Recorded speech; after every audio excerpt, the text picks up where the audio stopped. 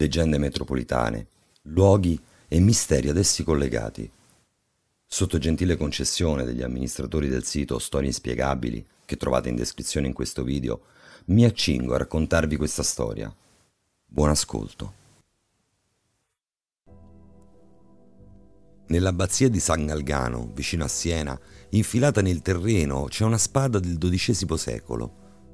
L'arma è conficcata nella roccia, allo stesso modo di quella leggendaria che Artù avrebbe estratto per diventare re d'Inghilterra.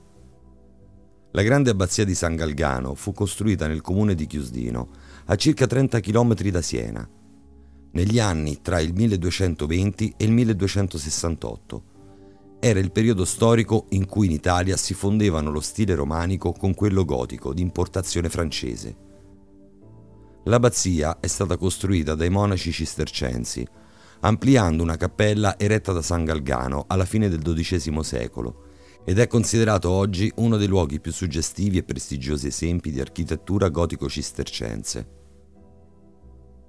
Nel 1300 l'abbazia fu distrutta dalle truppe comandate da Giovanni Acuto e nel 1400 iniziò un periodo di decadenza irreversibile, favorita anche dalla decisione di abolire gli ordini monastici. A poca distanza dall'abbazia si trova l'eremo di Montesiepi, al cui interno si conserva da circa 900 anni la spada di San Galgano e la sua straordinaria leggenda.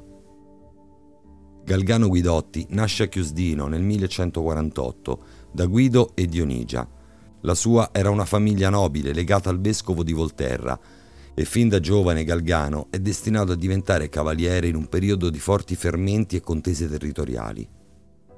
Il giovane, nonostante le continue guerre, conduceva una vita dissoluta, fatta di divertimento e capricci, fino a quando non gli apparve in sogno l'arcangelo Michele, che lo invitò a seguirlo e a diventare cavaliere di Dio.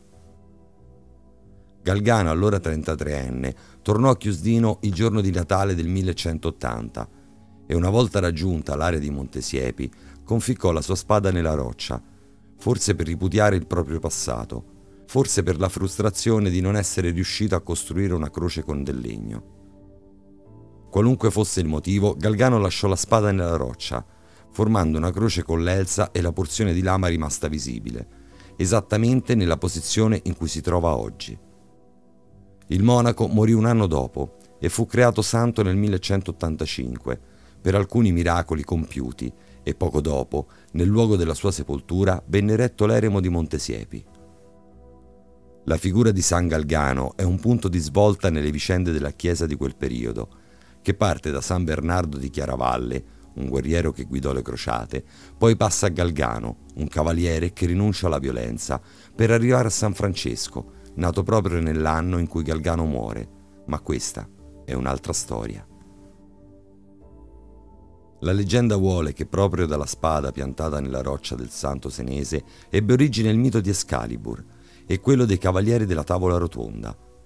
L'unica differenza è che nei racconti del ciclo arturiano la spada viene estratta, mentre quella conservata nell'eremo sembra impossibile da sradicare dal pavimento.